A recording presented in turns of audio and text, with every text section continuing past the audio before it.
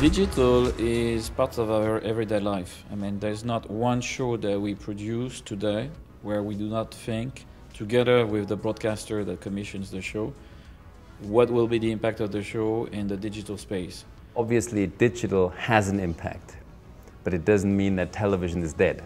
You know, it's like um, it means that the landscape out there is evolving, and it means that um, we have a bunch of new players out there. I don't agree. in The uh, opinion is uh, digital will replace the TV. TV. I don't. I don't agree it.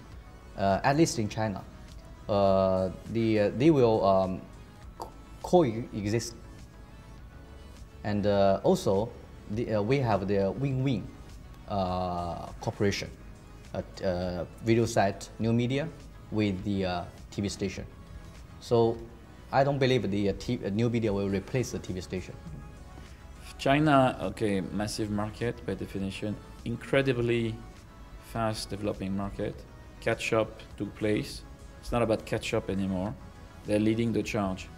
You have a company called Tudou.com, which is in fact talking today at the MIP format, which is a kind of a Chinese Netflix, but in certain ways ahead of Netflix. They broadcast series, they want local series, they know that local content is what ultimately viewers want to watch.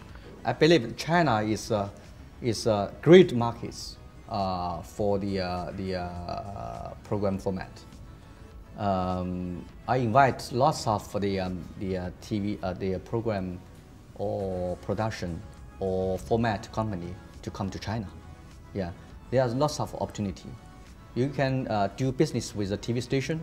You can do business with uh, new media, internet video sites such as uh, Earth. And then you have social media as, um, as a, the most powerful tool of, of marketing.